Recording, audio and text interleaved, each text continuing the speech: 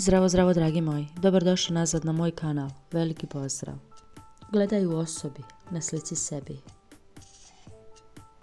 To si ti svaki put kada izgubiš sebi.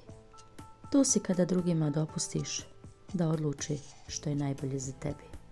To si ti kada se toliko bojiš neuspjeha, da odustaješ od mogućnosti za uspjeh.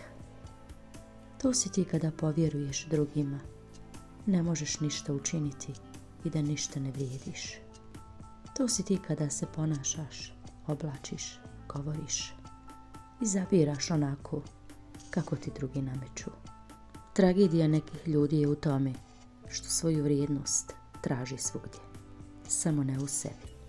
Bolje je biti nesavršen, ali istinska verzija sebi, nego kopija nekog drugog. Budite svoji, jer takvi ste najbolji. Veliki pozdrav!